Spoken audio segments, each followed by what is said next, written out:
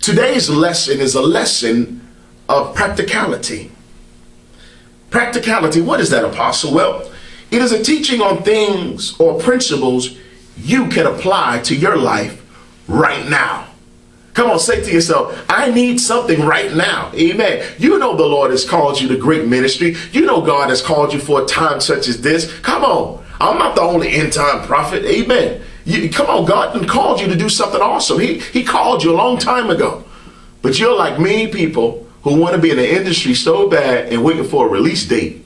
Well, I want to encourage you. Amen. The release has come. So I want to teach on some practical teaching today. Some, some practical teaching um, dealing with things that you can utilize right now. Amen. Something that you can apply to, apply to your life right now. You need change right now. You need to see it man, manifest right now. Amen. And so we're going to give it to you. Hallelujah. Glory to God. In the gospel according to Matthew, amen. We're going to Matthew 20. You got your Bible? Come on, get your Bible. Matthew uh, Mama always say, son, you know, you say the gospel according to, amen. She was a teacher, amen, and a preacher for sure, amen. Glory be to God. If your mom is still living, amen. Come on, you better holler at her and tell her you love her, amen. I sure enough miss my mom, amen. But glory to God, I believe she's with the Lord, amen. She done transition on. Sadie Mae Cooper, amen. A transition on. Glory be to God, amen. And you know? We all got to go that way. Amen. Hallelujah. When our time is up here, amen, we got to go in and just transition. Hallelujah.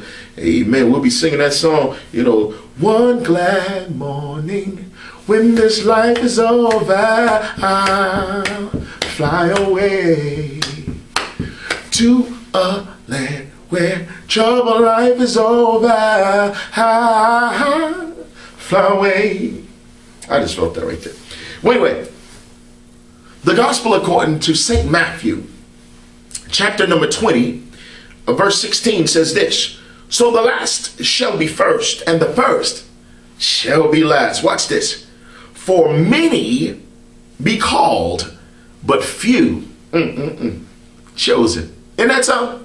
Many be called, but few chosen.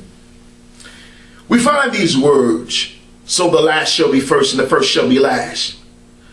For many, so come on, say many, baby, many, many. Uh-huh. I hear you. Many be called, but few. Somebody say few. Few chosen. What does it mean to be called? What, what does that mean? A lot of people say that, you know, I've been called, I've been called. You've been called to what? Huh? You've been called? What, what does that mean? I've been called. Well, let, let me elaborate on this for a little bit. A calling is a summon. You ever been summoned to court? Oh Lord have mercy, nobody likes that. You know, they come on, they, they, they put in your mailbox or they, you know, you get a ticket, Lord have mercy. I pray right now in the name of Jesus, Lord, nobody get no more tickets. They give you a ticket, the, the officer give you a ticket and say, there's a summons to court. Well, what does that mean? Well, a summon is definitely not an invitation. Amen. Because if you get a ticket, you don't need to invite the court. I mean, that's not that's not a good thing at all. All right. A summon is not an invite. It is not an invite.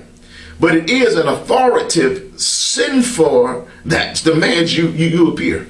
It is, a, it is an authoritative sin for. Amen. We be sin for. That means it, it, there's an authority that's sending for you. There's an authority that's reaching out to you, not to invite you, but it's an authoritative situation. So it, it's something that's mandatory. It's a, a, a mandatory sin for you to appear in a set place at a set time for a set purpose.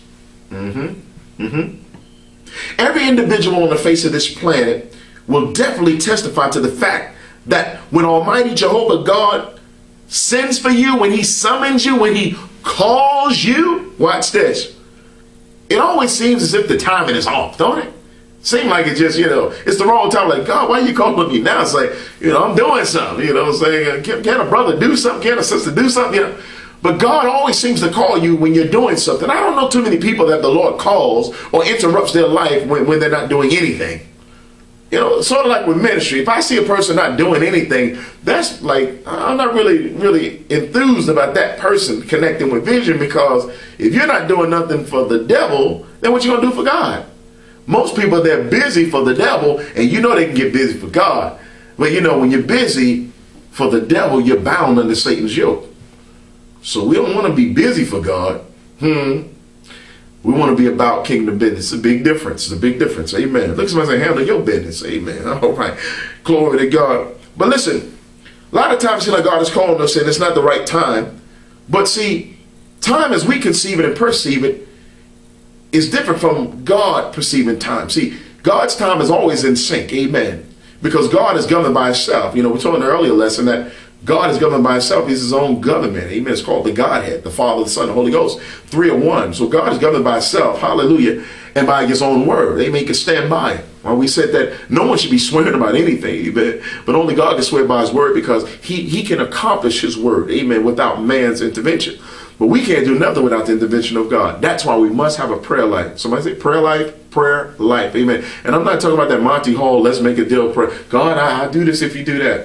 It's not like that. We need to pray, spend time, make time to spend with God. Amen. And we need to be quiet sometime to hear what God has to say back to us. Amen. It's a two-way thing. Amen. It's a two-way street. It's a reciprocated um, thing. We need, we need to hear from God too because God speaks and he wants to say something to you. He has something awesome to tell you. Amen. He's going to whisper something in your ear. Maybe, maybe in a couple of minutes. Amen. Listen. Amen. Just listen. Pay attention. That's why it's not good to gossip so much. Amen. It's, not good to gossip, but all a backbite. You know, you backbite people. You don't need to be backbiting on people. Amen. Leave folk alone. Amen. Get in the presence of God. See what the Lord is saying to you. All right? Don't be a backbiter. Amen. Hallelujah. Be a worshiper. How about that? Glory to God. Check this out. Now, I'm going to say this, and I know people all over the world are going to say, you know, Apostle, I, I don't know about that statement, but I'm, I'm going to say it anyway. Watch this. I need to inform all of you watching who claim salvation in Jesus' name. I want to inform you that you, as well as myself, we got to examine ourselves daily and make sure that we're in the will of God. Some of us are moving in ministry, and you know what? Sad to say, a lot of us have not been called. But then on the flip side, many of us have been called by Jehovah God. And many of us have not answered that call. That's not good at all. I sure pray that's not you. Now I know conviction is going through this camera, through this TV set. I, I come on. I know you feel a conviction through your flat screen and do your do your computer, your desktop, your laptop. You feel a conviction right now. Somebody is. Because God has called you a long time ago. But you, like many other people, you know, you have that spirit of the industry waiting to be release your release record, your release date. Now, I'm not saying, you know, uh, release your, your, yourself before the time, but I am saying check with God and make sure that you are in His will, because if you're in His will, then God is obligated to fulfill His word. But if you're out of His will, you're praying amiss and you're wasting your time. Which brings us to this point a lot of men and women of God in this hour, not only are you wasting your time, but you're wasting God's time and everybody else's time. You're just like a waste of time, a lot of people. I'm talking about religious folk and people to my day say, look, you, are wasting God's time, a lot of you. We've all done it. I've been guilty of it, but I got delivered from it. I'm not trying to waste God's time. I know what God called me to do, and I'm not waiting for nobody to tell me to go nowhere or do anything. I'm listening to the voice of the Lord God. Amen. And as God leads me, I'm going to go. I don't care where He say go, where He say go, I'm going to do it. That's it. It's not a debate. I don't need nobody to vote on it. God called me to this global apostleship, this marketplace apostleship. He called me from the Hollywood stars to serve the rocks in the dirt. He interrupted my life. Things was good. Amen. Money was good. Everything. Life was good. Everything good. But God said, you know what? I have need of you. He said, come hither. know, come up. And the Lord has really blessed me abundantly. I'm so glad I did. Does it get does it get real challenging sometimes? Sure it does. Because I walk by faith and not by sight. I'm still in a real world where people have their perception of who I should be and how I should live, what I should do. But you know what? My surrender is to the Lord Jesus Christ. I don't live to please no man. I live to please the Lord Jesus. I live to please Jehovah God because he is the creator not you. Amen, somebody. Amen. Now we thank God for who He is and who He allows us to be. Amen. But we're in an hour where, you know, people need to be free. There's too many people bound in the house of God and in ministry and stuff. I mean, what's going on? So I want to deal with this. There's a lot of people wasting God's time. Unfortunately, this is a fact. Now, I know many of you saying, uh, Apostle, I, I, wouldn't do that. I, I just wouldn't waste God's time. I, I would not me. It's not me. You know, you, you, sounding like you know, you know, the, the apostles. You know, when, you know, uh, uh, before before they, you know, they, they got the communion on. You know, uh, Lord, is it me? Is it me? Is it me? You know, is it you? I'm not the one to judge. I'm just dealing with the facts. Is it you? Are, are you wasting God's time?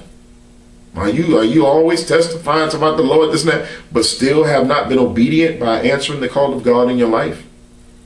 What good of a testimony is that? Are you a Sunday saint? I often I often teach this to all of my sons and daughters in the gospel. I tell them, I say, listen, if, if you if, if you be a, a, a, a, a just do weekend worship, you will be weak in worship. Let me say that again. If you just do weekend worship, you'll be weak in worship. It's going to take more than weekend worship, y'all. Every day is the Lord's day. How about that? Oh, I just said something right there. Every day is the Lord's day. I know I got an amen somewhere in the country, somewhere in the world, somebody watching this. Come on now. Apostle BB ain't crazy. Amen. I'm just crazy for Jesus. I know I'm talking right. I say one more, one more again. If you are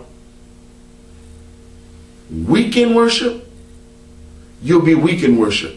If you do weak in worship, you'll be weak in worship. If you believe in weak in worship, you'll be weak in worship. Did you get it yet? Huh? Every day is the Lord's day. We need to live unto the Lord every day. We need to realize that every day could be our last day. So we have to live it to the fullest and give God all the glory. Amen? I know I got to even somewhere in the world. All right, here we go. Now, you got to understand, to all my sons and daughters, as your father in the gospel, you know, I, I need to share this, which is very important that I share this with you. I'm talking about all them who are in covenant with the KPM Live, the Kingdom Power Movement Church Worldwide vision. You know, our vision is to empower the world, amen, through applicable scripture, through divine revelation, through Holy Ghost power on a day to day basis, amen. You know, we believe in one Lord, one faith, one baptism. Come on, we believe in the power of the Holy Ghost. We believe in baptism in Jesus' name. Acts 4 and 12 said, There's no other name given under heaven whereby men must be saved. So it's not a debate. If somebody writes you a check and put Bubba Watkins on it, amen, and your name is, is Will Willie, Willie Jones, come on, you can't check, cash that check. So, I mean, it is what it is. Our salvation been purchased in Jesus' name. Acts 4 and 12 backs it up. Amen. And that's just one scripture. We can go all through the word. Amen. Because the Bible testifies of the fact, amen, that we were bought with a price. Amen. Glory be to God. We all were born in sin and shaped in what? Iniquity, iniquity, iniquity, iniquity. Mm-hmm. Amen. Thank God for salvation. Amen. Glory be to God.